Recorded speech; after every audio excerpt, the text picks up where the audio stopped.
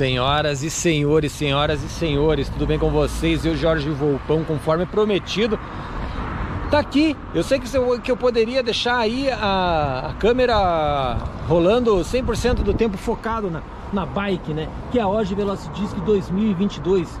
E eu sei que vocês que me acompanham aqui no canal, vocês, muitos deles estão aqui porque eu já fui feliz proprietário de um modelo parecido, parecido com essa. Não é o mesmo modelo.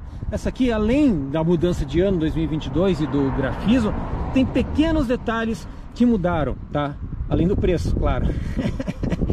essa ponteira aqui na parte de trás é diferente, é igual às da as Oge Mountain Bike, tá? O que eu acho que foi pensado até para tornar a bike um pouquinho, talvez uma resistência um pouco maior no quadro, já que andaram vendo que a galera tá usando essa bicicleta fora de estrada, né? Com isso aumentou um pouquinho o clearance aqui, o clearance, né? Esse espaço aqui, ó, pode ver agora passa um dedo, na minha bike não passava um dedo assim.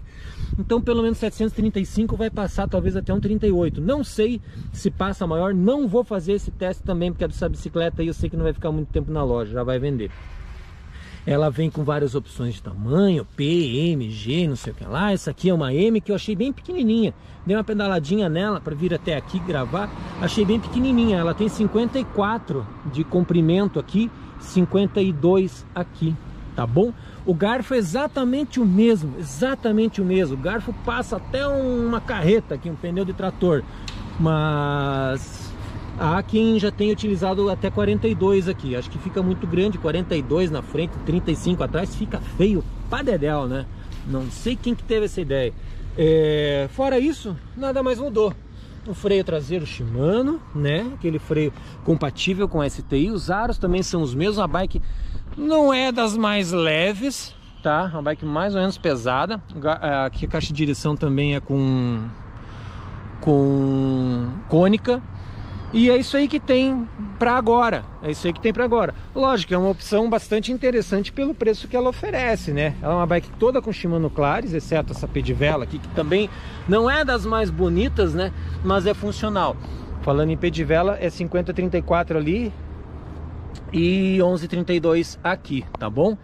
Então essa bike aí que tem para você que é pobre, que nem eu, é, é uma opção para você botar fora de estrada né? Um pneu 732, então já dá para fazer alguma coisinha, dá para colocar um pneu mais largo se você estiver disposto a fazer algum investimento e principalmente se você está órfão de bicicletas baratas nesse conceito. Lembrando que não é uma bicicleta de gravel, é uma all-road bike tá? Uma bicicleta para você usar em tudo quanto é tipo de estrada, mas também não é aquela gravel pura que permitiria você colocar pneu até 742, que é para dar mais conforto, né?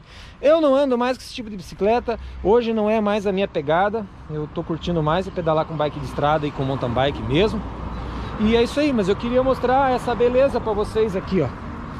Tá combinado? Não vou dar um pedal nela porque, porra, senão a galera da loja lá me enche o saco. Ah, sujou o pneu, não sei o que. O Everton lá fica meio apurriando.